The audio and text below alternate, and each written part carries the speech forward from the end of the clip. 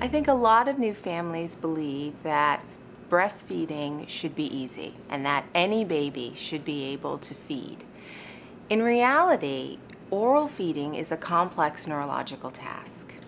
In fact, in order for a baby to successfully feed, he must coordinate 26 pairs of muscles, five cranial nerve systems, as well as thoracic cord segments in order to protect the airway while feeding.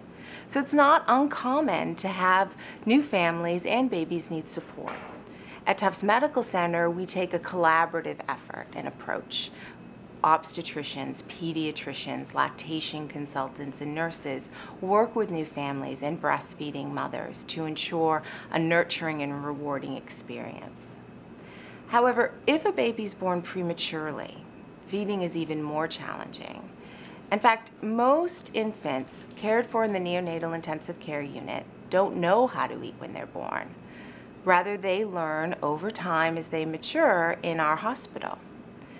Understanding how they learn to eat and accurately predicting when a baby can safely protect his airway and feed without risk of choking or aspirating still remains a challenge for caregivers. So at Tufts Medical Center, we are conducting innovative research on neonatal saliva to address this problem. In fact, we've developed innovative approaches so that even in the smallest amount of neonatal saliva, we can see developmental markers that help us understand how these babies are learning to feed. In a way, it's as if these babies are talking to us through their saliva. And because of that, we can better learn how to care for them, we can learn about these processes, and we can improve outcomes.